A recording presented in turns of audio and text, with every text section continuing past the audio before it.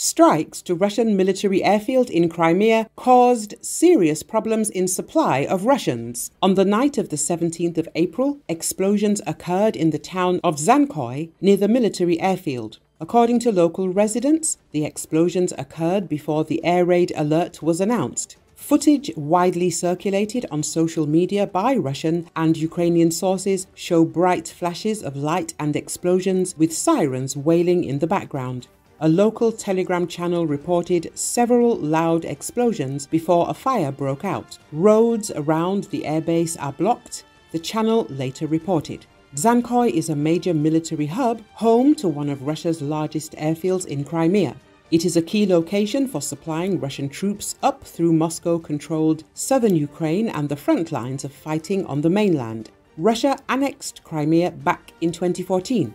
Open source intelligence accounts said that Russian forces used the airfield as a base for attack helicopters and anti aircraft missile systems. Several reports suggest Ukrainian forces may have struck the facility, but Kiev has not commented. Russian air bases in Crimea have been targeted by Kiev in the more than two years of all out war. Earlier this year, Ukraine's Air Force said it had launched missile strikes on the Belbek airfield close to the port city of Sevastopol on Crimea's western edge.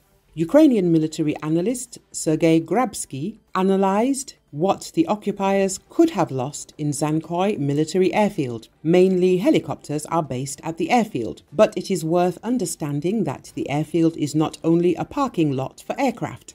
It is also a warehouse with supplies. Therefore, a series of explosions that began there even before the announcement of the air raid warning may mean that this strike was applied very accurately, the expert commented. He also noted that any attacks on Russian aviation pose a serious threat to the Russian Federation. If the Russian Federation is doing well with the land component at the moment, then restoring the Air Force component is something they have problems with. It is much more difficult to restore aviation equipment. Therefore, the destruction of any element of this type of weapon means large losses for the enemy, Grabsky explained. In addition, the expert confirmed the recent words of Ukrainian President Vladimir Zelensky that now the ratio of Ukrainian to Russian aviation can be considered as 1 to 30. The Russians have concentrated 300 planes and 290 helicopters on all fronts of this war, but the Russian Federation cannot increase its air component. And, relying on the help of Western allies, we can achieve parity, the expert noted. Saudi Arabia took part in downing Iranian drones during strike on Israel. Saudi Arabia took part in downing some Iranian UAVs during Saturday's strike on Israel, a source in the royal family has admitted in response to a report by the Israeli public broadcaster Kan.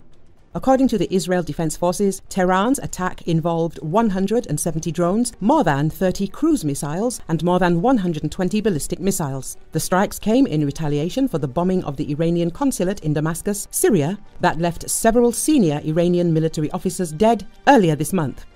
The US, UK, and Jordan helped the Israel Defense Forces intercept almost all of the incoming projectiles during last Saturday's attack. According to Kan, Saudi Arabia joined in the effort as well. A source from the Saudi royal family who prefers anonymity has spoken with Kan and subtly acknowledged the kingdom's role, stating that Riyadh's air defenses automatically intercept any suspicious entity, according to the official website of the Al Saud dynasty. The same source accused Iran of instigating the conflict in Gaza between Israel and Hamas, accusing Tehran of attempting to unravel the progress in normalizing relations between Riyadh and West Jerusalem. Iran is a nation that endorses terrorism, and the world should have curtailed it much earlier, the unnamed official told Kan. The anonymous royals' statements would represent a shift from recent Saudi rhetoric, which has condemned Israel's onslaught against the Palestinians in Gaza while working to end decades long enmity with Iran. The Sunni Muslim kingdom has long been allied with the US